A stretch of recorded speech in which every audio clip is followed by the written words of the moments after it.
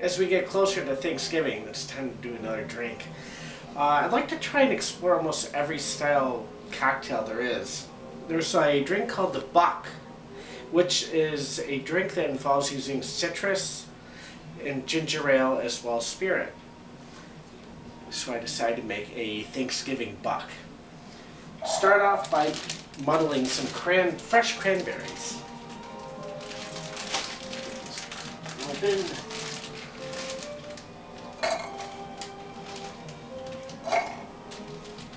About a dozen or so cranberries. Give it all muddling here.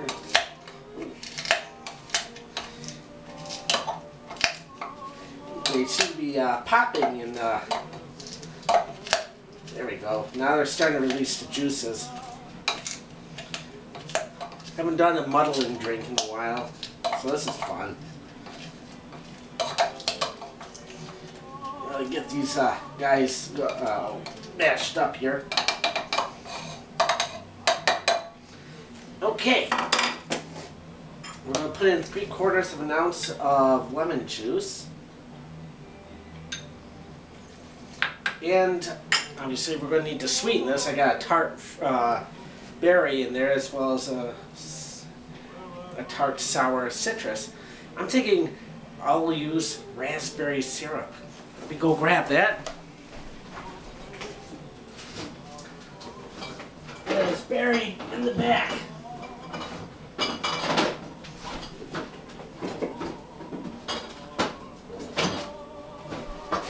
There we are. Sorry for that. Haven't used raspberry syrup in a while. Mm.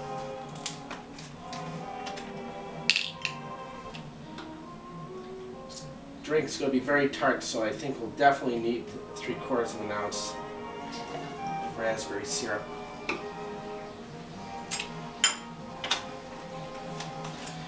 Alright, what spirit should we put in this drink? I'm thinking, let's go for a brandy cocktail.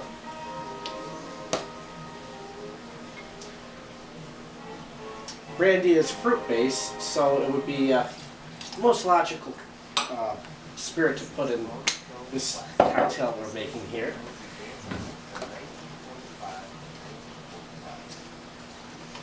Time for some crushed ice, or cracked ice. Crushed, I would have to you know, take a hammer to, to the bag. We don't need that.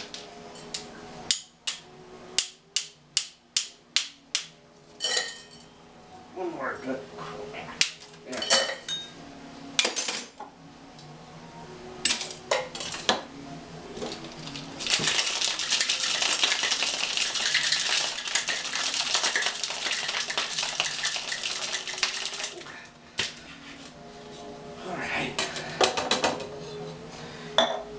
Fill it into a Collins glass. And I'm thinking we're going to need to double strain this with uh, all the berry bits in there.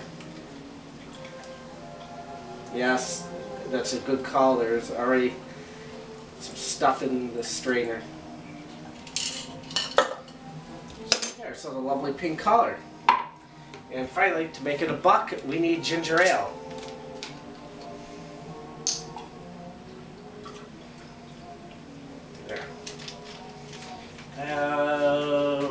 Try over there. Mix it up. Let's see what a Thanksgiving bucket is like. Ooh, that is very pleasant. This would be a nice drink to have while you're waiting for the turkey to finally cook. Cranberry, raspberry, lemon, some brandy, and you top it off with ginger ale. Perfect. See you in the next one.